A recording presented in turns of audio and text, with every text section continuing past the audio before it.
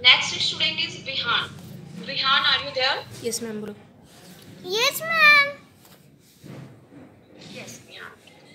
विहान ने हमारे सेशन को काफ़ी लेट में ज्वाइन किया बट स्टिल उन्होंने कोऑपरेट किया चीज़ों को उनके पेरेंट्स की हेल्प से बहुत जल्दी चीज़ें मैनेज हो गई I am thankful to everyone क्या नाम है विहान विहान का बहुत अच्छा कम्युनिकेशन स्किल जो है इस टाइम में डेवलप हुआ था उनकी आर्ट एंड क्राफ्ट एक्टिविटी बहुत अच्छा थी। थोड़ा सा राइम्स में सुधार करने की ज़रूरत थी। वो चीज़ों को डिले कर देते थे। इसलिए हम हमेशा बार बार विहान को बोलते रहते थे कि विहान आपको चीज़ें क्या करनी है? प्रॉम्प्टली रहना है टाइम पे करना है।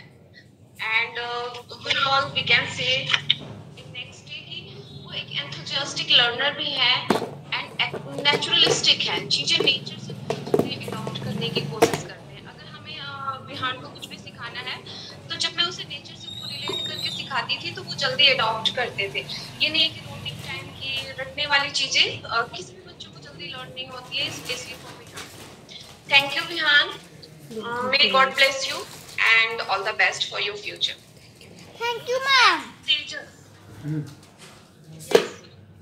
Teachers are you there?